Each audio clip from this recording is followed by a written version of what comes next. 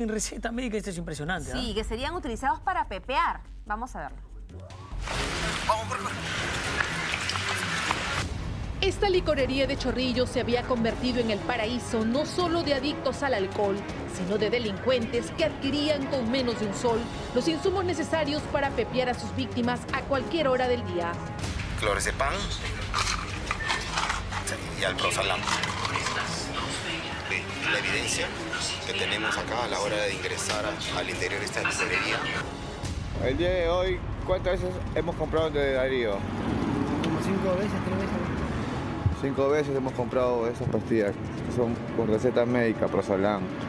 El equipo de investigación de ATV puso al descubierto este negocio que ostentaba el nombre del búnker, pero que al interior vendía algo más que cervezas y otros licores.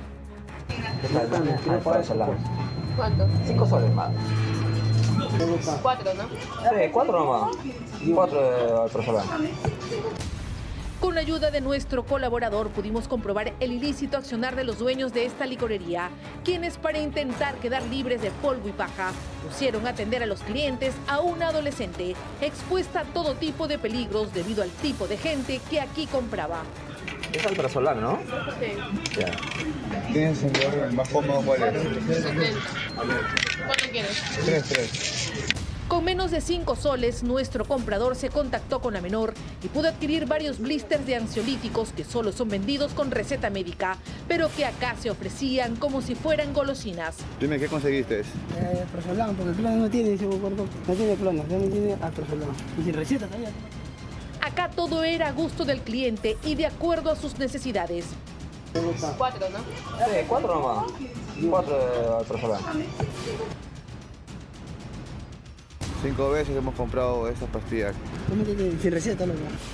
Pero no fue trabajo de un día, sino fue gracias al paciente seguimiento a lo que ocurría en el Girón Arica 322 por parte del Grupo Especial Olaya de Chorrillos junto a la comisaría del sector, lo que permitió desbaratar a este clan familiar. El cerro de pruebas, la policía llegó al búnker para intervenirlo. El dueño nada podía hacer para negar lo evidente, y es que además, según los agentes, contaría con antecedentes por vender drogas en este mismo local. como licorería no se puede vender estos productos Sí, estoy consciente. Y es que la venta de ansiolíticos sin receta médica no es cosa de juego. Farmacia, medicina acá. La señorita acaba de venderlo enseguida al señor. Sí, señor. Ahí, ahí. Acaba de venderlo ahorita. Usted compra medicina acá. ¿Qué, qué tipo de medicina es esto? Alprazolam. Aprazolam. Esto no es farmacia, señorita. ¿Por qué usted vende medicina acá?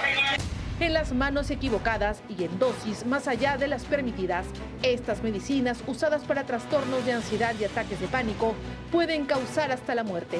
Venderle a unos sujetos que se dedican a pepear a las personas que se encuentran en diferentes lugares. En total se incautaron más de 50 blisters de pastillas, por lo que agentes de fiscalización de la municipalidad